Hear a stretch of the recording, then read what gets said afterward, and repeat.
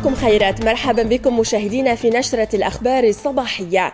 الدعوة إلى عقد اجتماع الهيئة التأسيسية للحركة مرة ثانية في الثاني عشر من الشهر الحالي والإسراع بتنظيم المؤتمر التأسيسي للحزب. كانت أبرز قرارات اجتماع الهيئة التأسيسية لحركة نداء تونس مساء الثلاثاء. بعد أحداث العنف التي شابت اجتماع المكتب التنفيذي لحركة نداء تونس الأحد الماضي دعت الهيئة التأسيسية للحركة التي غاب عنها أربعة أعضاء في أعقاب اجتماع لها إلى الإسراع بإنجاز المؤتمر التأسيسي للحزب والحرص على إنجاحه.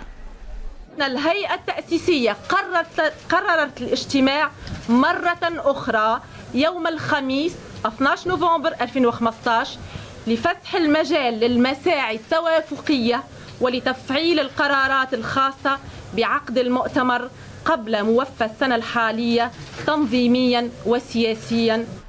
غياب رئيس حركة نداء تونس محمد الناصر عن اجتماع الهيئة التأسيسية علق عليه عضو الهيئة التأسيسية على هذا النحو. إحنا اتفقنا اليوم اتفقت الهيئة التأسيسية أن ما مش نعطيه حتى تصريح. ما عندكم حتى تعليق؟ ما معطينا قرينا البيان. اللي يحضر يسسي اللي يحضر يسسي عندناش تعليق؟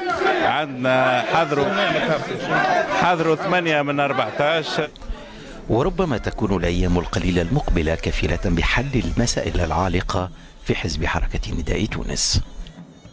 يشرع رئيس الجمهورية الباجي قايد سبسي وحرمه اليوم في زيارة دولة بثلاثة أيام إلى مملكة السويد. بدعوة من الملك السويد شارل, شارل السادس عشر جوستاف وحرمه. ووفق بلاغ رئاسة الجمهورية يجري رئيس الجمهورية خلال هذه الزيارة جملة مباحثات مع الوزير الأول ورئيس البرلمان وثلة من كبار المسؤولين السويديين. كما سينتظم على هامش هذه الزيارة منتدى تونسي سويدي للأعمال. التعريف بالإطار القانوني والنظر في نقائص عملية مجابهة الكوارث الطبيعية أبرز المحاور التي ناقشها المشاركون خلال الندوة الإقليمية التي نظمها مركز التكوين ودعم اللامركزية بوزارة الداخلية بمدينة برقة الفيضانات التي اجتاحت عددا من مناطق الشمال الغربي السنة الماضية ألقت بظلالها على هذه الندوة حيث تطرق المشاركون إلى أهمية التصرف في منظومة السدود والبحيرات ومجاري الأودية وضرورة التنسيق مع السلطات الجزائرية. التحكم في مخزون السدود يكون معناها بطريقة مدروسة وعلى أساس أنه معناها عملية الانسياب من السدود تكون معناها مدروسة حسب الإيرادات وحسب مجرى الواد بعد السد. خرجنا بقرارات وتوصيات هامة من ضمنها زاد إحداث صندوق لدعم العمل اللجان هذه ثم توصية لتكثيف التكوين. في هالمجال المجال هذايا ثم توصية بأحداث لجان حتى محلية تعرفوا رئيس البلدية ورئيس مجلس الجهة غدوه باش يكون عندهم دور. دورهم معناتها حماية المواطنين وعندهم دور في هالمجال هذايا. المشاركون أثاروا أهمية تفعيل مشروع المركز الإقليمي لمجابهة الكوارث خاصة مع ما يعرفه إقليم الشمال الغربي من تساقط للثلوج والأمطار شتاء واندلاع حرائق الغابات صيفا. بالنسبة للمركز الإقليمي لمجابهة الكوارث بالإقليم الشمال الغربي أنه في الفترة الأخيرة معناها ثم قرارات حكومية اللي إن شاء الله باش يقع تفعيله في القريب العاجل وتقريبا معناها إن شاء الله في السنوات القادمة القريبة يقع تركيزه يقع معناها تركيز آلية تصرف في الكوارث والأزمات بإقليم الشمال الغربي وهذا الحقيقة اللي باش يسهل علينا مهمة التسيير والتنسيق في مختلف مراحل الكارثة. وقد أكد المشاركون على ضرورة الاستعداد الجيد لموسم الأمطار والتنظيم العملياتي لتفادي الكوارث وتنظيم النجدة ووضع المخططات الضرورية لذلك. أياما قليلة قبل إحياء عيد الشجرة الأحد المقبل. تتجند كل الهياكل العاملة في القطاع الفلاحي لزرع أكثر ما يمكن من المساحات الخضراء. كاميرا الأخبار زارت أحد المنابت بولاية المنستير وتابعت مراحل التشجير هناك. ما يقارب ثلاثة هكتارات هي مساحة هذا المنبت العمومي بمدينة بملة من ولاية المنستير الذي يعد حلقة من النسيج النباتي بالجهة والذي يغطي في مجمله أكثر من 100 هكتارين عندنا منبت منزل النور وعندنا منبت بنبلة الاثنين هذم زوز المنابت يمسحوا تقريبا 5.8 هكتار. وعندهم طاقة إنتاجية ب 350 ألف آه، شتلة أو نبتة في كل عام. ثم ما يقارب يعني عندنا 30 كتار تشجير رعوي عندنا 30 كتار تشجير آه، غابي وعندنا آه، تشجير تصفيف ما يقارب على 10 كيلومتر.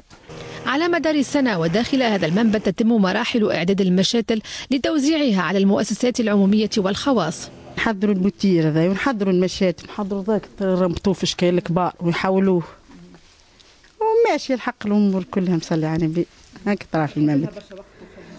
حبلها شوية ماشي نمشيو شوية في هذا يقعد شوية حدا شهرين ونص ثلاث شهور باش يحضر.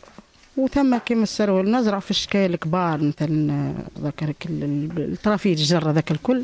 بأيدي هذه النسوة تغرس أولى بذور ومشاتل النباتات استعدادا لعيد الشجرة. في المدة أسبوع نتاع عيد الشجرة عملاو عطينا سبعين ألف يعني المواطنين يتهافتوا.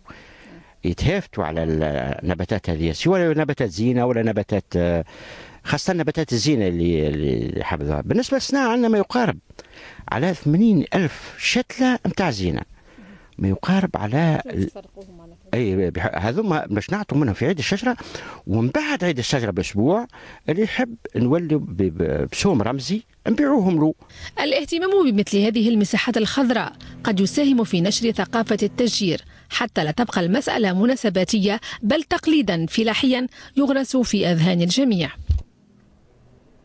رغم وفاة ابنها بالصحراء التونسية في مايو الماضي تواظب عائلة أجنبية على زيارة تونس وخاصة الصحراء في رسالة تحد لكل المخاوف والتهديدات. فقدت هذه الأسرة ابنها في شهر ماي الماضي بعد سقوطه من إحدى العربات وهو يتجول بين الكثبان الرملية اليوم تزور العائلة الصحراء التونسية لتقديم مساعدة مالية ولتساهم في حفر بئر بمكان الحادث. نريد مساعدة القطاع السياحي وخاصة الصحراء التونسية التي تشهد ركودا علينا عدم التردد في زيارة تونس. فنحن لن ننسى أبدا ابتسامة التونسيين لنا. Pour nous, il sera toujours ici et بالنسبة لي لم أفقد ابني أشعر بأنه موجود دائما في هذا المكان. في البداية لم أستطع زيارة المكان ولكن بعد الحادث بفترة اشتقت إليه وإلى الناس هنا. أشعر بأنني أملك عائلة ثانية سأزورها دائما. وفاة ابنهما لم يثنيهما عن زيارة الصحراء التونسية قصة عشق تتواصل فيها الحياة بأرقى وأبهى معانيها. في جديد أخبارنا العربية والعالمية قتل 25 مسلحا مما يسمي نفسه تنظيم الدولة الإسلامية. في عملية نفذها الجيش السوري بريف حمص الشرقية على صعيد آخر رفض نائب وزير الخارجية السوري فيصل المقداد. رفض فكرة أن تكون هناك فترة انتقالية بسوريا مضيفا أنه تجري مناقشة تشكيل حكومة موسعة. في عملية نوعية نفذها الجيش السوري ضد تجمع لما يسمى بتنظيم الدولة الإسلامية بريف حمص الشرقية وسط سوريا. أكد مصدر عسكري سوري مقتل 25 مسلحا من التنظيم. العملية أسفرت أيضا عن تدمير عربات بعضها مزود برشاشات وأسلحة. من ناحية أخرى قالت وزارة الدفاع الأمريكية إن الذي جرى بين مقاتلة أمريكية وأخرى روسية هو اختبار مدته ثلاث دقائق مرتبط ببروتوكولات السلام المتفق عليها حديثا وليس تدريبا عسكريا. وكانت روسيا والولايات المتحدة اتفقتا على بروتوكولات سلام الشهر الماضي بهدف تجنب وقوع اشتباك عرضي فوق سوريا مع قيام الطرفين بعمليتي قصف متوازيتين. وفي رد على بعض التصريحات رفض فيصل المقداد نائب وزير الخارجية السوري فكرة أن تكون هناك فترة انتقالية قائلا خلال زيارته لإيران أنه تجرى مناقشة تشكيل حكومة موسعة. وأضاف المقداد أن دمشق لم تتلقى إشعارا رسميا بعقد اجتماع مع المعارضة السورية. في المقابل يلتقي وزير الخارجية الروسي سيرجي لافروف اليوم مبعوث الأمم المتحدة الخاص إلى سوريا وسيبحث الطرفان العملية السياسية في سوريا وكيفية إطلاق حوار حقيقي بين دمشق والمعارضة السورية. هذا وكانت المتحدثة باسم وزارة الخارجية الروسية ماريا زخاروفا قد صرحت بأن موقف موسكو من التسوية السورية لم يتغير.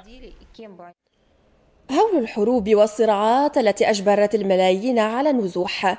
جعل المفوضية الأوروبية تعلن تقديم مساعدات إنسانية بقيمة 62 مليون يورو لدعم النازحين داخل سوريا.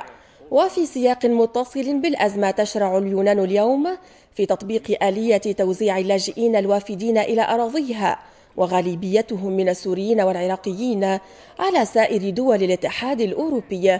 وذلك تطبيقا للاتفاقات المبرمة في الاتحاد لمعالجة أزمة المهاجرين غير القانونيين حسب إعلان الحكومة اليونانية.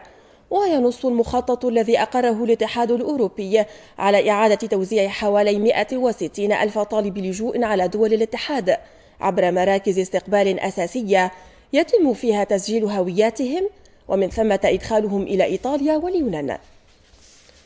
في اليمن قتل ثمانية من مسلحي جماعة الحوثي وقوات صالح وأصيب أحد عشر آخرون خلال مواجهات بمنطقة الضباب ومحيط القصر الجمهوري بتعز بينما قتل عنصران من المقاومة الشعبية. يأتي ذلك في وقت أرسلت فيه قوات التحالف العربي تعزيزات عسكرية لكسر الحصار الذي يفرضه الحوثيون. فيما كثف التحالف العربي عملياته العسكرية وغاراته في تعز خصوصا مع البدء باستخدام قاعدة العند. من الصعب علينا أحيانا فهم مقدار الشغف لدى الكثيرين تجاه التكنولوجيا والتقنية.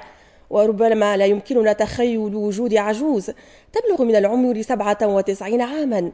أمنيتها الوحيدة زيارة شركة جوجل. أوليفر أورل تمنت أن تصبح مهندسة. لكن والدها رفض هذه الأمنية. أرادت أن تعرف كيف تقوم شركة جوجل بصناعة الواقع الافتراضي وسيارة ذاتية القيادة.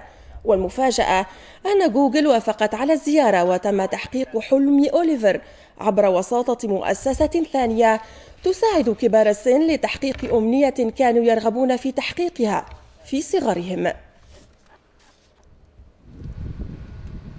ونختم نشرتنا كالعادة بأهم الأحداث المنتظرة اليوم إذ تنفذ الأسلاك الأمنية وقفة احتجاج بمطار تونس قرطاج الدولي. انطلاقا من العاشرة صباحا ويعقد كاتب الدولة للإسكان ندوة صحفية بقصر الحكومة بالقصبة لتقديم تطورات إنجاز البرنامج الخصوصي للسكن الاجتماعي ومنظومة السكن الجديدة الحادية عشرة صباحا.